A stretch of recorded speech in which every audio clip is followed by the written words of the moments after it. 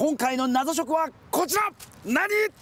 人が集まればカス寄せ。in 熊本大和町。カス寄せ。全く分かりませんけれどもイメージよなんか豪華そうではないですよね、まあ、肉で言いますと切り落としばっかりを寄せて豪華に見せたみたいな。そういった食べ物の感じがしますけどね。果たしてカス寄せとは一体どんなものなんでしょうか？7年前に矢部町と周辺町村が合併して誕生した熊本県東部の大和町は人口およそ1万6千人の山あいの町です。早速地元の人に聞いてみました。カス寄せという食べ物知ってますか、はい、知ってあ知ってます、はい、あどんな時に食べますか？お祭りなんかにそしとかみんなで寄る時は食べよったりしてね。あやっぱり、はい、美味しい？美味しい。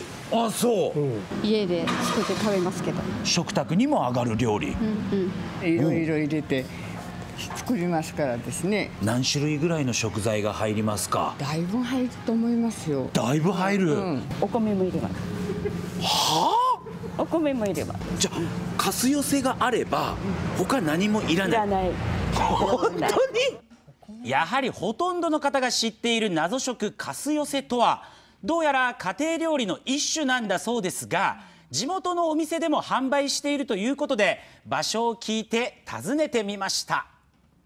あこんにちは。こんにちは。いらっしゃいませ。すいません。こちらにですね、はい、かす寄せってありますか？はい。今ちょっとあります。お！ちょうどあるよ。謎食かす寄せとは一体？これがかす寄せですけどあらららら、これですか。はい。まあ、なんかいろいろなものが入ってそうですね。ご覧ください。でもなんかあの白あえっていうかそんな感じにも見えますけれどもね。ちょっとですね。うん。かす寄せってカタカナ表記なんですね。そうですね。好きですか？大好きです。おお ただね、うん、なんでこれがかす寄せって言うんでしょうね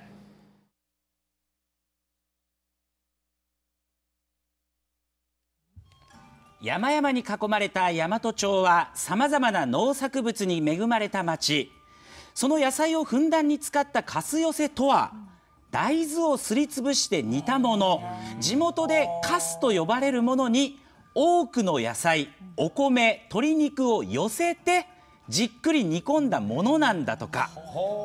お米が貴重だった時代。なんとかみんなで食べれるようにと大豆のかすで量を増やしたのが始まりだと言われているんだそう柔らかい、はい、スッと箸が入りました、